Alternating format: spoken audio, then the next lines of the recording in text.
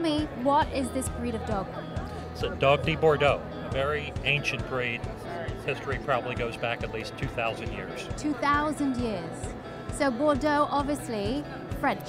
French. Yep. Okay, and is that where he originally came from? That is where they are thought to have originated.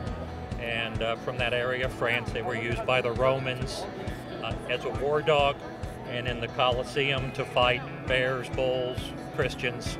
Christians. wow. Gosh, yeah. And now he, he probably has. May I go down? Sure. He probably has one of the biggest heads that I've ever seen. I'm not being rude. I'm just saying. Yeah. He's A has, Dogue de Bordeaux is supposed to have the largest head of any breed. And if you measured around his circumference of his head, it's 28 and a half inches. 28 and a half inches. That's the size of my waist. I know, probably bigger than your waist. Now, to, to look after a, a breed like this, what does it take?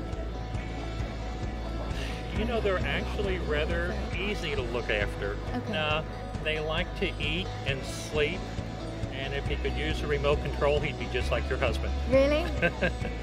My husband's got those kind of jowls too. yes, he is. Um, now tell me about, obviously, you know, I'm a very big, I love all the kind of the bully breeds, but unfortunately there are a lot of bully breeds that are banned around the world, including in my country, in Britain, where these kind of dogs are banned. What do you say to that? I think it's wrong to have breed bans. You can see this dog wouldn't hurt anybody in the arena. A two-year-old could come up and climb on him, and he could care less. It's the individual dogs that are a problem, and usually the owners more than the breed. I'm glad you say that because I myself am very anti-breed specific legislation. I fight against it. And, um, and I think it's lovely to be able to show this kind of dog doing what he's doing because this really is what the breed is Yes. if you bring them up right and in a responsible way. Yes? Right. And 2,000 years ago, they may have been a war dog. Now they're just a companion, Yeah. and they make a great companion. Okay.